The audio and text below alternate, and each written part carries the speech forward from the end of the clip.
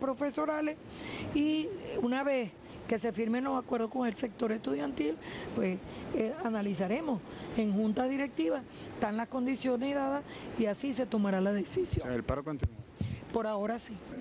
Para el viceministro de Planificación y Estrategia del Ministerio del Poder Popular para la Educación Universitaria, Humberto Rodríguez, las mesas de trabajo han servido para avanzar en la normalización de las actividades universitarias.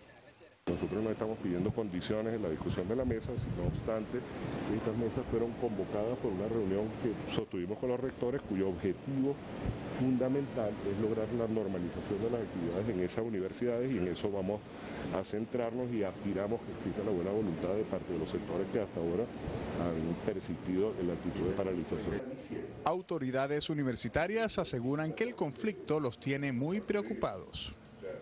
Por supuesto, nosotros estamos muy preocupados por el, actual conflicto. De hecho, en el lado estudiantil el problema no está resuelto, ni siquiera se ha avanzado. Todo lo contrario, está más bien en un punto de enorme dificultad. Nosotros todos quisiéramos no estar en conflicto. Por tal preocupación le preguntamos el por qué la rectora de la UCB, Cecilia García, no asistió a estas mesas de trabajo. Si existe tal preocupación, ¿por qué la rectora eh, eh, Cecilia García Rocha se encuentra en Miami? No, la, pregunta quizás no debería ser en ese tono, pero no importa. y no está aquí reunido, no, pero está en Miami. La rectora está en Orlando en una reunión con, con todos los rectores de las principales universidades latinoamericanas. Ningún conflicto y la rectora está llevando la información de los progresos de la Universidad Central y del conflicto. Será para el próximo lunes que el Gobierno Nacional y el sector universitario se sienten nuevamente en las mesas de trabajo a fin de seguir buscando soluciones al conflicto universitario. Luis Ugas, la noticia. Y más de 150 mil estudiantes reciben becas estudiantiles por medio del Ministerio de Educación Universitaria.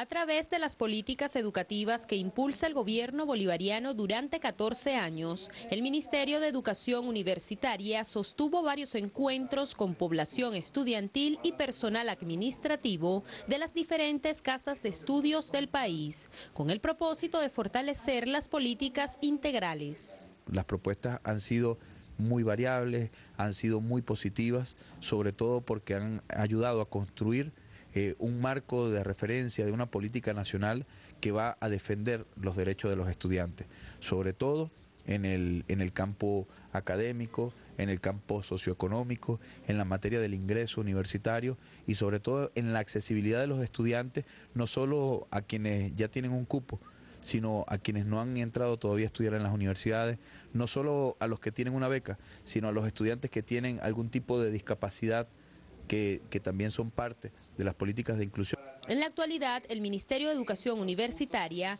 diseña nuevas políticas para la incorporación de más becarios que inician nuevos programas de formación. Que construyamos una plataforma que logre llevar ese, ese número de, de becarios que actualmente se ubica en unos 154 mil becarios entre las distintas universidades, más la misión Sucre y Medicina Integral Comunitaria, que eh, acompañados de las becas que tiene Fundayacucho, pudiésemos estar hablando de aproximadamente unos 200 mil becarios en todo el sistema de educación universitaria.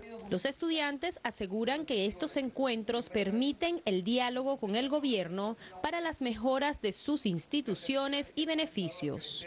Estamos haciendo un trabajo por los estudiantes a nivel nacional de los colegios institutos y de las universidades politécnicas territoriales para el avance y la construcción de mesas de trabajo para el aumento de las becas, para el aumento de la, asignación de becarios, para el aumento de platos de comida, para, para eh, por el fortalecimiento de lo que son las rutas populares estudiantiles y de todo lo que tiene que ver con las reivindicaciones estudiantiles. Entre las propuestas está la ampliación de infraestructuras para estudiantes con discapacidad motora. Un total de 64 casas de estudios del país participaron en las mesas de trabajo impulsada por el Ministerio de Educación Universitaria.